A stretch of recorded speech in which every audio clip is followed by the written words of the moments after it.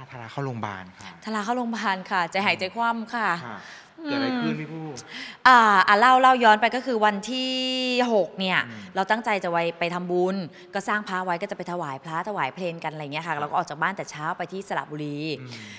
ทาราไม่มีอาการอะไรเลยเพราะทาราเบื้องต้นอะเขาเป็นเด็กล่าเริงค่ะเขาเป็นเด็กแข็งแรงแล้วเขาเป็นเด็กแบบไม่แสดงอาการหงอยหรือซึมอะอืม เราก็เลยคงไม่ได้ คุยกับหมอนะหมอว่าพวกเราคงไม่ได้สังเกตว่าเขาว่าไข้กำลังขึ้นเรื่อยๆอืมเราเข้าใจว่าอากาศมันร้อนนะเนาะอืมเราก็อุ้มเขาพาเดินดูนู่นดูนี่แต่ก็ใส่แมสกันนะคงคงเป็นไอแดดอืมความรู้สึกคงเป็นไอแดดแล้วเขาก็ไม่หงอยเขายังกินได้นอนได้ยิ้มเล่นอะไรอย่างเงี้ยด้วยความที่เขาแข็งแรงมาก อาการมาเกิดตอนขากลับค่ะ ขากลับจากสระบุรีอะค่ะ บนรถเลย บนรถเพราะเราไปกัน 3 คันรถรถพ่อพ่อแม่พี่ผู้จัดการแล้วก็ทาราคันหนึ่งครับเราไปรถตู้อีกคันหนึ่งแล้วก็มีรถเด็ก ๆ ที่ร้านอีกคันหนึ่งสามคัน ขับตามกันไปกำลังขับอยู่อยู่ดีรถพ่อเนี่ยก็แบบเปิดไฟฉุกเฉินแล้วก็บีบแต่เราก็นึกว่าปกติเขาชอบทักแบบนี้อยู่แล้วอะอ่าๆบอกว่าเออเจอกันนะที่กรุงเทพอะไรอย่างเงี้ยประมาณนี้อะไรอย่างเงี้ยเพราะว่าเราอะไม่ได้เปิดเสียงโทรศัพท์หลับ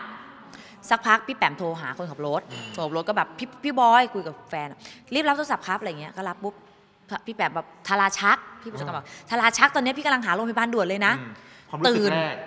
ใจหายมากอืมใจหายแบบแล้วเราไม่ได้อยู่ในรถอะไม่ได้อยู่ในเหตุการณ์เราเลยไม่รู้ว่าอาการลูกตอนนี้คือชักแบบไหนอืมเป็นยังไงอาการเป็นยังไง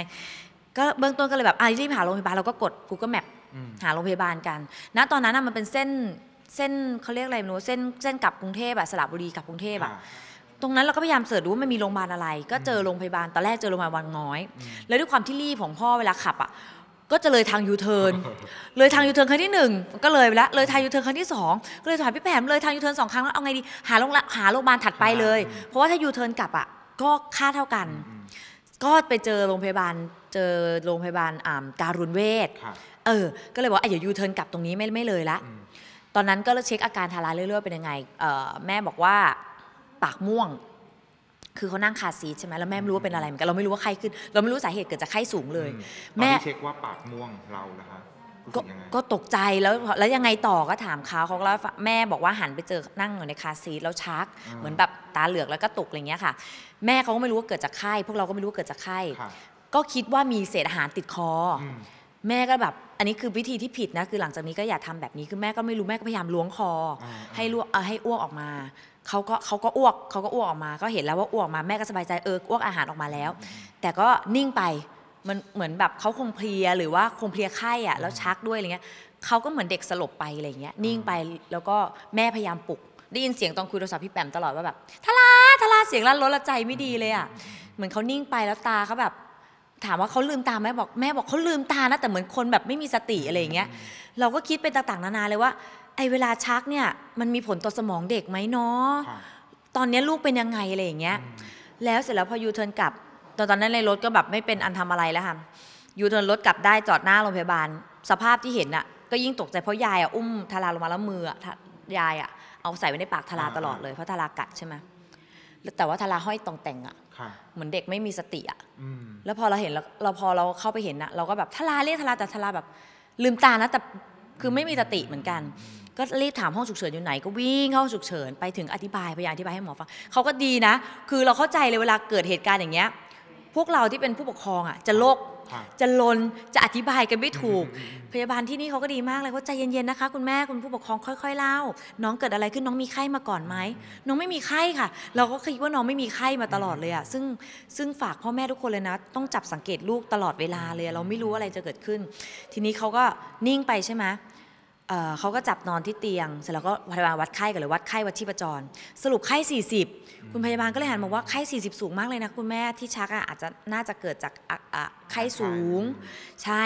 สักพักหมอมาค่ะหมอมาเขาก็เลยเช็คอาการเบื้องต้นเขาก็ถามประวัตินะที่บ้านมีคนชักไหมมีอะไรไหมค่ะเราไม่เคยมีประวัติอืมคนชักในบ้านเลยอะ่ะแล้วก็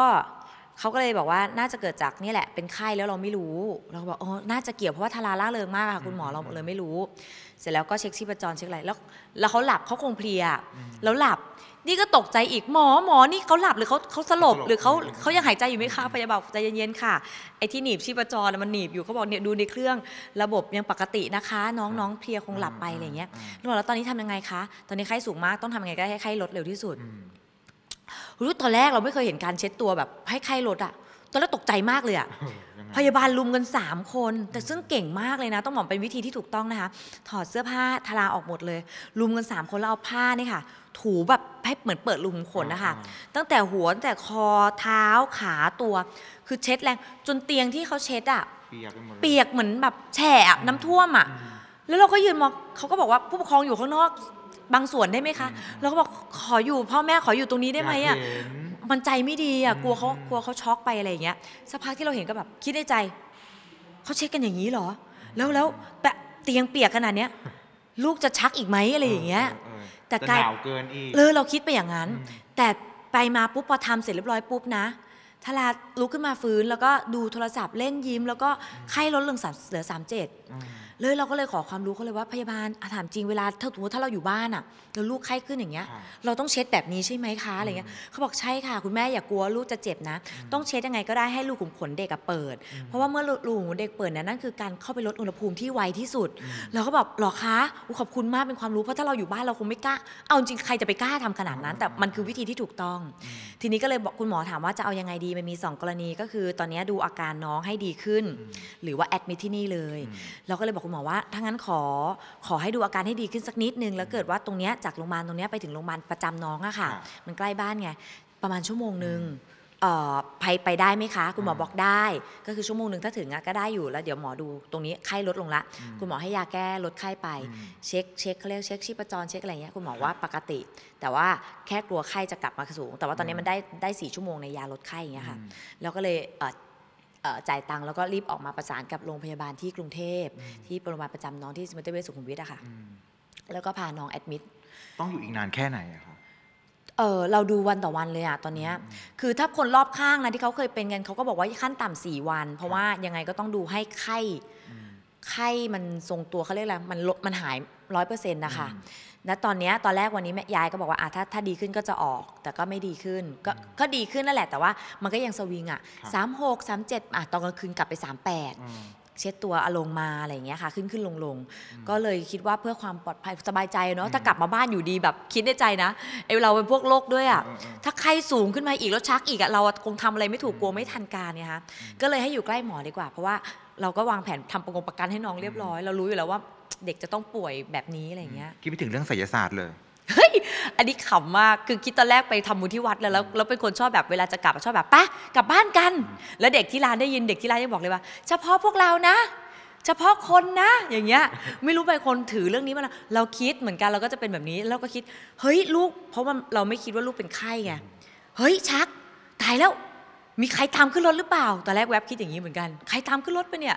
แต่คือในอีกแง่หนึ่งไม่น่าใช่หรอกเราไปทำบุญมาเราคิดดีนะ สรุปก็เกิดจากไข้ซึ่ง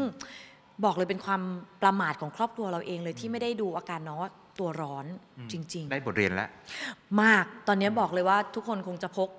ไอตัววัดอุณหภูมิอะค่ะใกล้ตัว เพราะว่าเราเรารู้คือเราจับรู้แล้วรู้สึกแล้วว่าเอ้ตัวอุ่นอืมๆแต่เราคิดว่ามันเป็นแดดไอแดดแค่นั้นเอง แล้วเราปล่อยให้มันพีคซึ่งอันตรายมากถ้า คือตอนนั้นนะถ้าอยู่ไกลโรงพยาบาลกว่านี้อีกนิดนึงอะมันก็ไม่รู้จะเกิดอะไรขึ้นอะเพราะน้องก็นิ่งไปแล้วเหมือนกันอะไรเงี้ยอูใจไม่ดีใจหายก็พอตอนตอนที่โพสต์ยังแบบยังเรียงคำพูดแบบจะโพสต์ยังไงให้เป็นเหมือนอุทาหรณ์ดี แล้วก็แบบสืบสสแจ้งข่าวด้วย เพราะว่าจริง ๆ แล้วอะเป็นวันที่เราเอ่อมีนัดจะไปกินข้าวต่อเหมือนกันอะไรเงี้ยเฉพาะในครอบครัวเพราะว่าเป็นวันเกิดอืมคุณพ่อกับคุณสามีอืมอะไรอย่างเงี้ยก็เลยแบบเฮ้ยโอ้ยยังไงดี อืมอืมโอเคพี่ผู้หา ติดตามข่าวบันเทิง พี่นายตะเทนแชนแนลอย่าลืมกด subscribe กันด้วยนะ